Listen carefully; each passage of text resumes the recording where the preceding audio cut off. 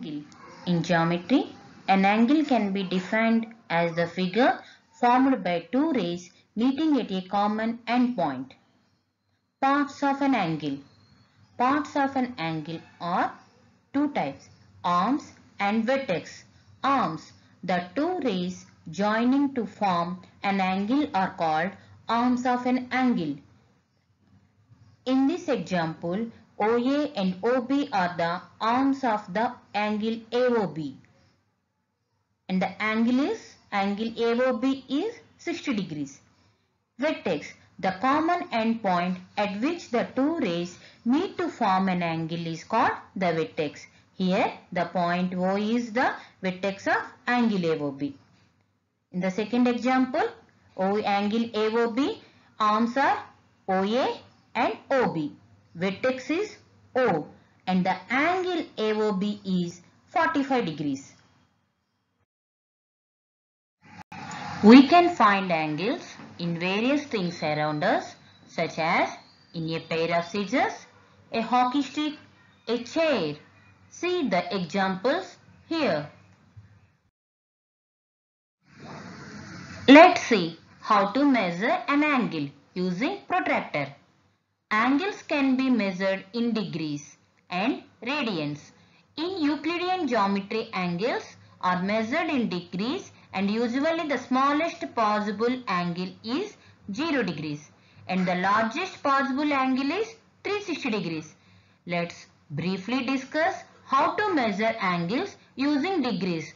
The most common way to measure angles can is by protractor up to 180 degrees. Let's see the example. Let's see to measure an angle. Get a protractor.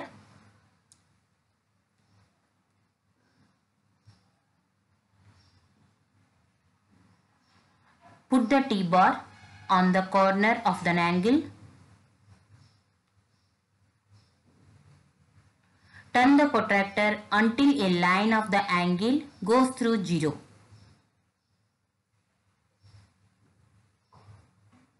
Lines goes through 0 and the T-bar is still at the corner of the angle.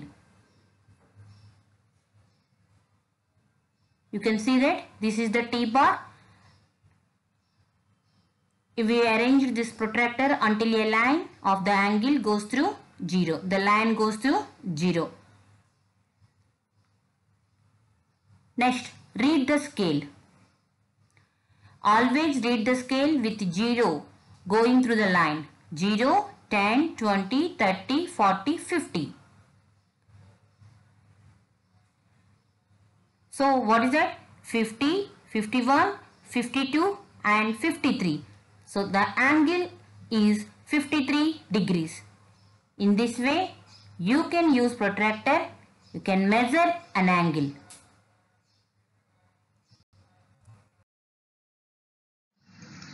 Let's see about the types of angles. The first type of angle is acute angle. An acute angle is an angle that measures less than 90 degrees. See some examples of acute angle around us. Each slice of the watermelon makes an acute angle. The arms of a wall clock make acute angles at several hours of a day. For example, 2 o'clock. Left side you can see one example of 60 degrees. 60 degrees is less than 90 degrees. So it is an acute angle. Let's see another type of angle, right angle.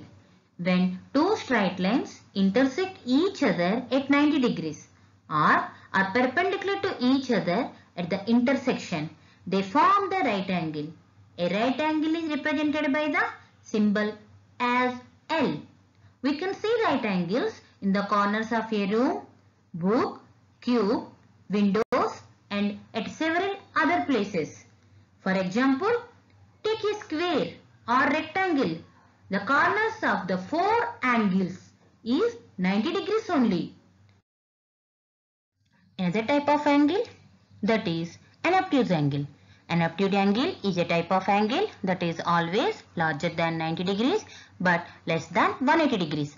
In other words, It lies between 90 degrees and 180 degrees. The best example of obtuse angle is fan hands. The angle between the two hands is more than 90 degrees and lesser than 180 degrees. Here one more example that is 150 degrees. It is also larger than 90 degrees, less than 180 degrees. Now we see how to measure uh, obtuse angle using protractor. Now see about a straight angle. A straight angle is also called flat angle. A straight angle is formed by rotating one ray by 180 degrees with respect to another ray. A straight angle is exactly half of a revolution. Let's see the example of 180 degrees. Now see the shape around us.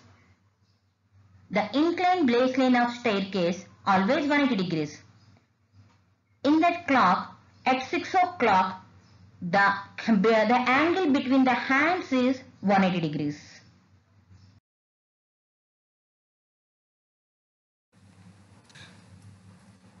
Let's practice how to measure angles using protractor. See this, this is the protractor and calculate the angle. Here the blue lines two arms are there and this is an angle. How to calculate? Just see that. 10, 20, 30, 40, 50, 60. Answer is 60 degrees. Now straight angle 180 degrees. Let's calculate the obtuse angle. From baseline onwards 10, 20, 30, 40, 50, 60, 70, 80, 90, 100, 110. Let we know about the reflex angle and complete angle.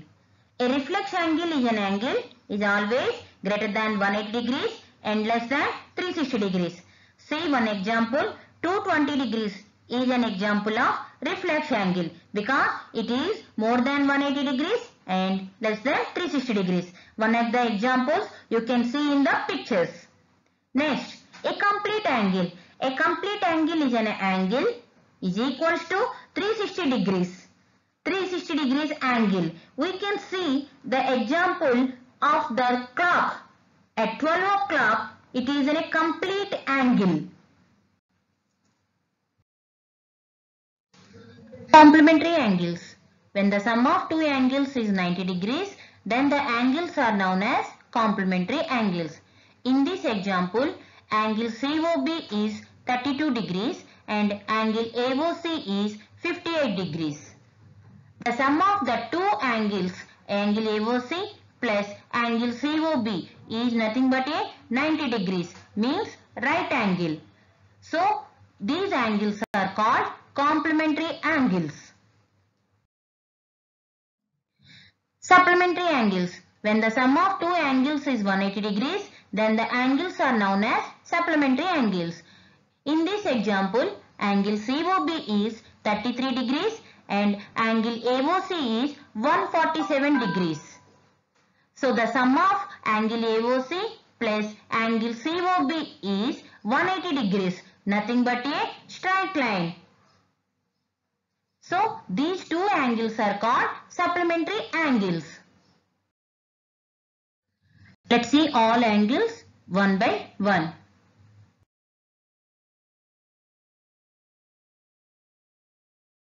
Students, let we practice the worksheet about angles. By the given options, let fill the answers. The first question, straight angle. Which one is the straight angle? And we know that as per the definition, straight angle is 180 degrees. Reflex angles. Reflex angle is an angle between the 180 degrees and 360 degrees. So which one is the correct answer? 260 degrees is the correct answer. Complete angle is nothing but a 360 degrees. Obtuse angle, angle which is in between the 90 degrees and 180 degrees. So 136 degrees is the correct answer. Acute angle less than 90 degrees is nothing but a 36 degrees. Right angle Everybody knows that right angle is nothing but a 90 degrees. Now we see the marks after submit that finish. Check your answers. 10 out of 10. So congratulations